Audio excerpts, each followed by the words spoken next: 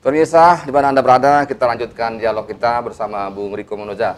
Bung Riko, ini Radar Lampung ini kan dalam uh, satu minggu, dua minggu ini mengadakan tidak pendapat politik. Dan Anda perolehannya tertinggi ini, 33 persen ya. Tuh gimana nih Anda, anda mengomentari dulu nih?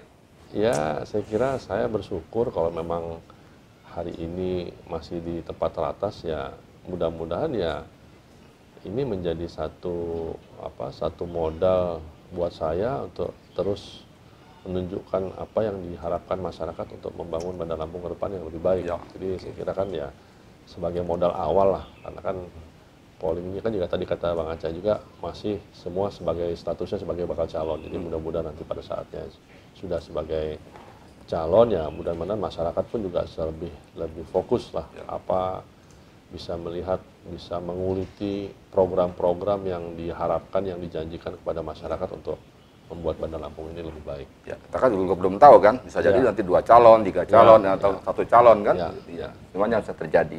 Ya. Mereka kan uh, pergolatan politik, pergolatan pikata ini satu hal yang mungkin sering kali menjadi pembicaraan adalah masalah poni politik. politik. Gimana komitmen Anda terhadap masalah? Harusnya ya kalau di kota Bandar Lampung tentu porsi masyarakat yang lebih objektif dalam hal melihat kapasitas, kemudian kapabilitas, ini harusnya money politik lebih ya mungkin presentasinya lebih kecil ketimbang daerah-daerah lain. Tetapi ya tentu kita tidak memungkiri dengan kondisi ya ekonomi sedang seperti seperti terpuruk hari ini karena juga belum diterjang dengan adanya pandemi Covid Corona ini ya mudah-mudahan ya tidak terlalu banyak ya pasti kan kita ingin negarawan juga di iya.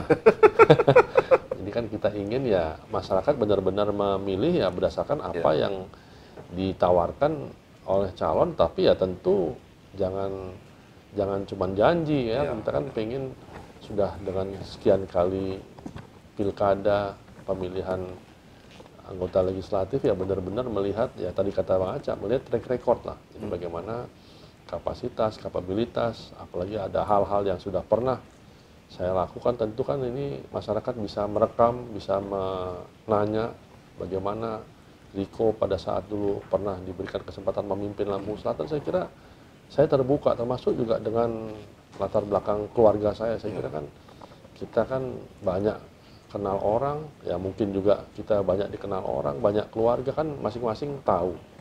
Apalagi di Bandar Lampung, apalagi di Lampung kan ya, ya pendahulu saya kan ya kebetulan juga sudah orang-orang yang memang ya berdomisili dia juga ikut membangun Lampung, membangun ya. provinsi ini. Jadi saya kira kan inilah hal-hal yang tentu saya sebagai anak, sebagai penerus, sebagai cucu ya bagaimana minimal mempertahankan hal-hal yang baik, yang positif yang selama ini ya sudah ya sudah di, dibicarakan orang. Jadi mudah-mudahan ya saya pun sebagai anak ya bisa mampu syukur-syukur bisa me, apa, menambah nilai-nilai positif keluarga maupun bisa bermanfaat untuk masyarakat yang ya. lebih luas.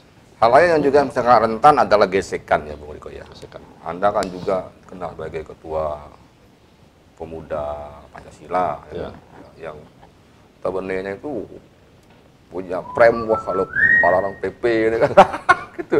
Gimana Anda bisa uh, punya komitmen Anda terhadap agar pelaksanaan itu ya GSIK ini tidak menimbulkan ya. cross yang luar. Saya menjamin sejak saya memimpin pemuda Pancasila ya mungkin seiring dengan berjalannya zaman juga ya pemuda Pancasila tidak tidak berpreman-preman hmm. seperti yang sejak dulu kala ya. ya. Jadi saya kira kan nilai-nilai ya. Nilai-nilai seperti itu ya kita pun juga harus bisa menyesuaikan dengan perkembangan zaman. Jadi tentu ya namanya sebagai ketua pemimpin di satu organisasi ya tentu kita ingin bagaimana mereka juga bisa menunjukkan sifat maupun perilaku yang positif hmm. termasuk dalam hal pemilihan kepala daerah.